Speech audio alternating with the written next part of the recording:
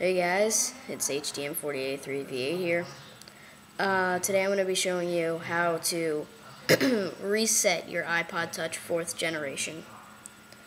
So, this happened to me where it wouldn't turn on. And I got really worried because I was going to go kill some people because I had to buy this by myself and I wasted all my money. And so, uh, yeah, I have no money. And so, uh, and so what are you're going to do is it's stuck on this black screen.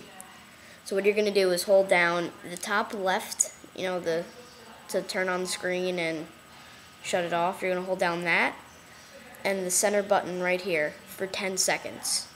And you're going to have to count like one, two, not like one, two, three, four, five, six, seven, eight, nine, ten. And so uh, you have to do that and it will turn on. If it if it doesn't, this didn't work for me, but it may work for you. Just plug it into something to charge it because it should show up. I watched a YouTube video on that, but it didn't work for my iPod. Uh, but that only worked, and if that none of those things work, then you have to take it back to Apple because your iPod's fucked up. Just saying, you know.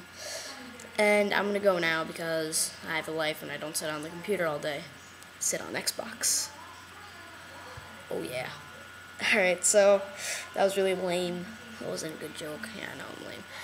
Uh, I'm gonna go. Hope this vid helped. Subscribe, like, comment, favorite, whatever. Just don't put the thumbs down or break into your house and kill you. Maybe. No, I won't. I don't even know where you guys live. So, I'm gonna go. Bye.